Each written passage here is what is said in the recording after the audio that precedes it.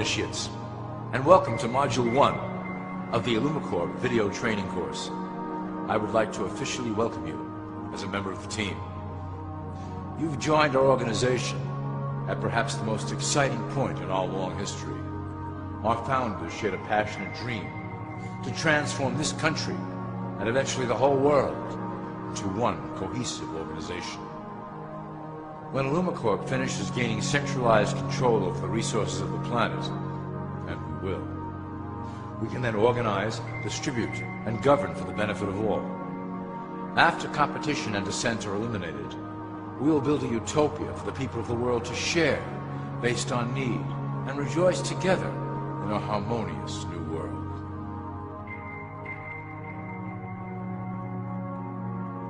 This presentation is designed to enlighten you about our organization's goals and achievements. As your guide, I will help to answer some basic questions you might have about Illumicorp and familiarize you with the valuable role you will play in helping us reach our prime objective. So please, take a tour with me as we march together towards an exciting new world.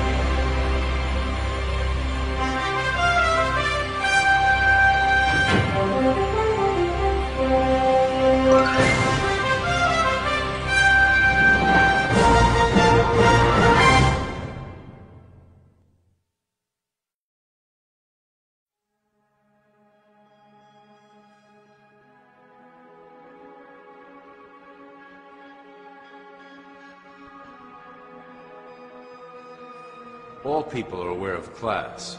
To them, society is made up of the rich, the middle, and the poor.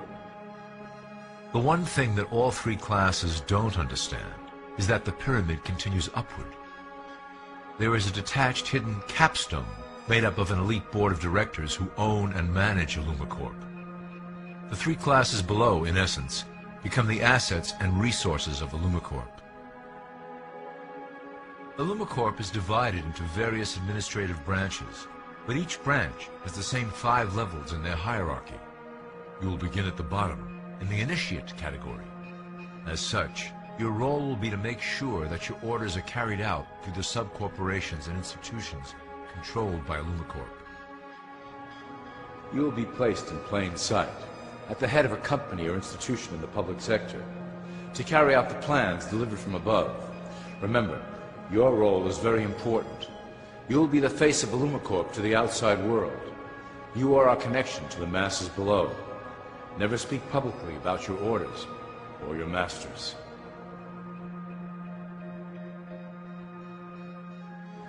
Now, let's look at Illumicorp's six administrative branches and their functions.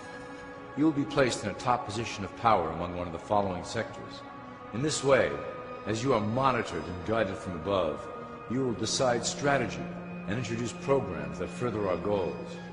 But that is the secret to Illumicorp's success. Control the head, and you control the body.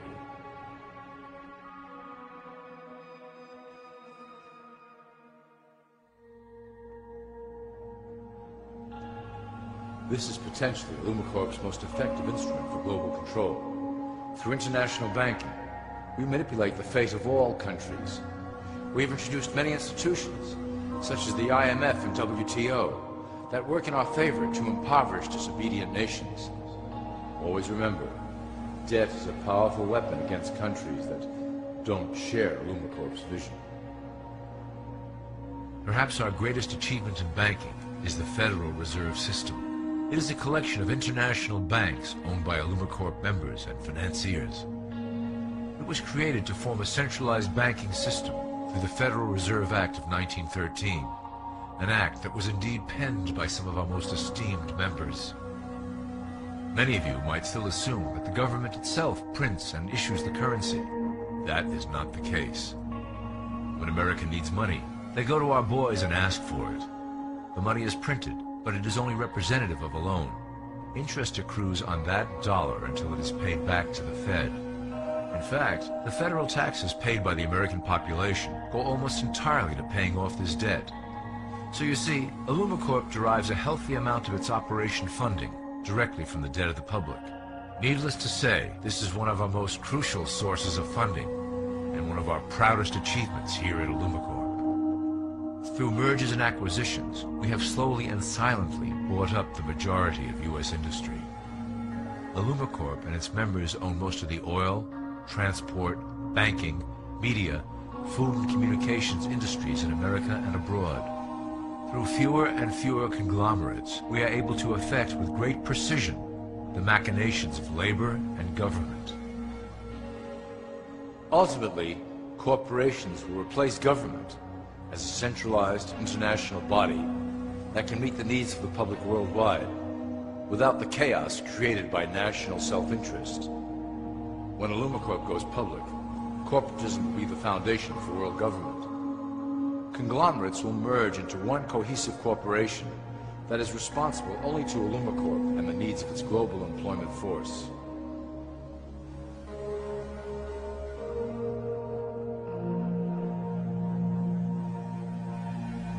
Illumicorp's control of the American military is another impressive tool in our possession. We have nurtured these institutions lavishly to serve as the prototype for our global police force. When ready, our technology and manpower will dominate those who oppose the coming new world order. By utilizing American patriotism, we have fostered in the American soldier the philosophy of peace through superior force. When the time is right, we will migrate that mentality towards the belief in a global government who must protect all people through superior force. We have used the American military-industrial complex to build the arsenal necessary to instigate the final cleansing outlined in Illumicorp's Great Plan. Our primary target will be Islamic nations who will never submit to our Western-centric domination. They also hold much of the remaining oil reserve of the planet. Illumicorp must own that precious resource, as it is crucial in maintaining our domination over the countries of the world. Through Illumicorp's enormous federal funding of the military, we can develop new forms of warfare and population reduction. The public can't imagine what we were in the process of developing.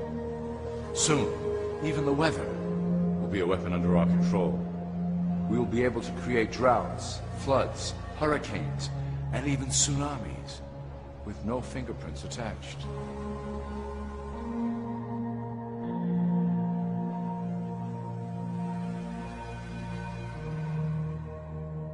The political system of America has been under direct control of Illumicorp for some time. It was actually a relatively easy acquisition, and has been even easier to manage. Politicians know of our unspoken agreement, and will do anything to stay in power. A two-party system benefits Illumicorp in that it reduces all issues into a black and white debate. Through media, we can play side against side, using each where necessary to support our goals. Due to a diminishing faith in the system among the public, Illumicorp has designed a rogue candidate program to provide a voice for the dispossessed. This disperses the impetus for dissent among those who do not feel represented by our candidates and builds a database of potential dissidents.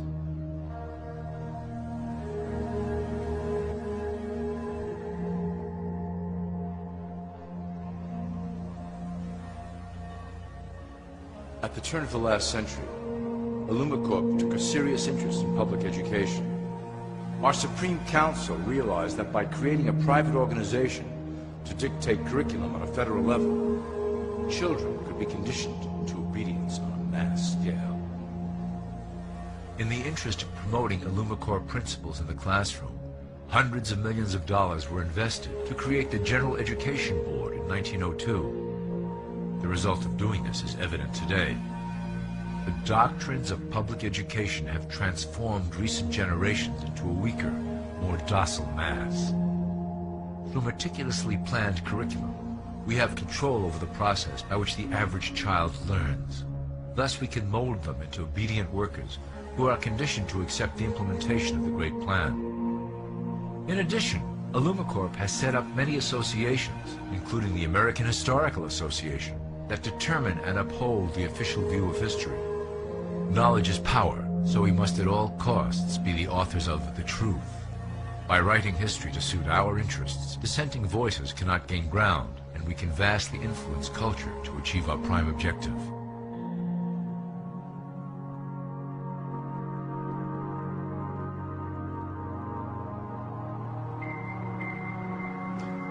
Illumicorp uses the media to shape the public's opinion about current events and condition desired attitudes about our future agenda. Through news, entertainment, and advertising, we can program a variety of emotions and responses into the collective unconscious.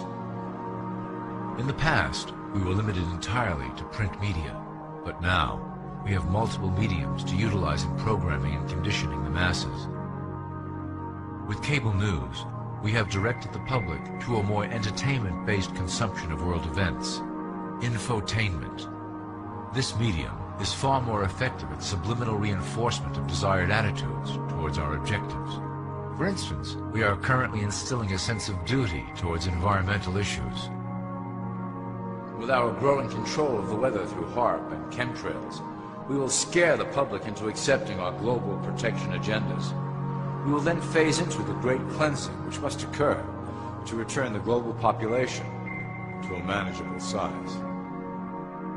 We reinforce the desired norm through advertising, creating a model for people to live up to that is virtually impossible.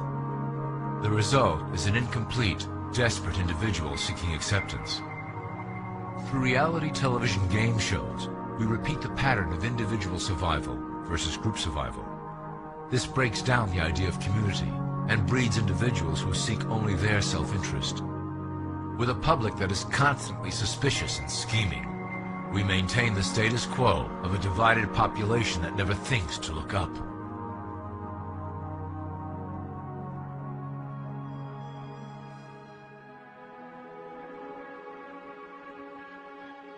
Religion has served its purpose incredibly well. It is the oldest and perhaps the broadest form of social control utilized by Illumicorp. With religion, there is a written code of conduct that must be followed. The authors of the Holy Scriptures knew quite well how to lace that code with commands to maintain their dominance over the population. This system has survived through millennia to hold the flock together and bring us to today. Admittedly, religion is losing its power for control. However, the fanaticism that has arisen due to this decline is particularly helpful to Illumicorp. Our invisible influence in the Church has helped bring the Christian fundamentalists out of the background. We control their opinions on current issues through policies designed and written right here at Illumicorp headquarters. They are sent to our ministers, who then preach the Word of God and their interpretations of the Bible to their followers. Their blind faith is used to transform them into willing soldiers to defend our cause during the catastrophes ahead. As the final phase is enacted, we will propagate end-time prophecy to convince them of their convictions. The rise of Islamic fundamentalism works to Illumicorp's advantage as a threat that will demand violent action. In the coming years, planned terrorist attacks will warrant a full-scale retaliation and initiate the final phase of the Great Plan.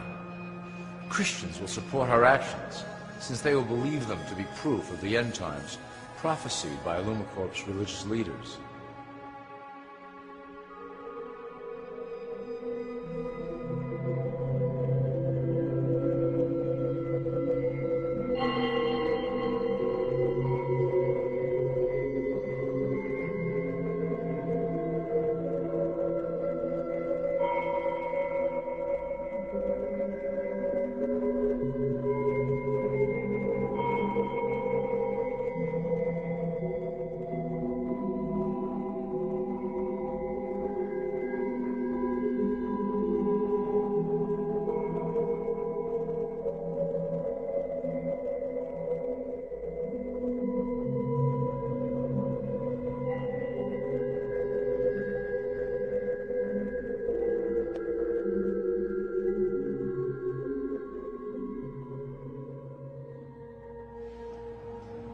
Now that you have a basic understanding of how we work over here at Illumicorp, I would like to introduce you to one of our latest projects, the Control Grid.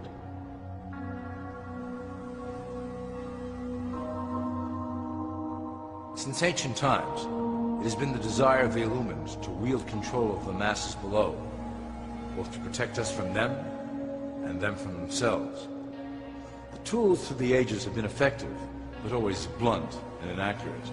But now, with the release of new technology to the masses, we have the real ability to implement a control grid with finance, industry, government, and military under our strict control.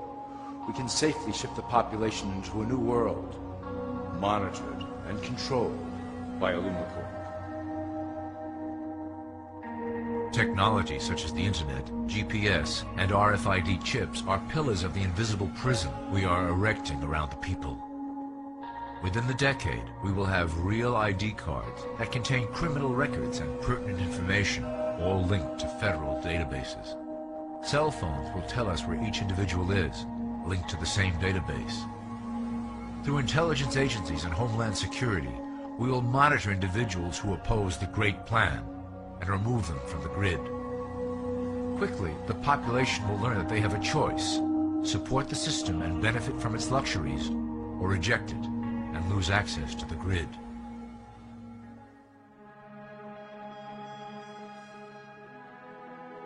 Well, that was quite an overview.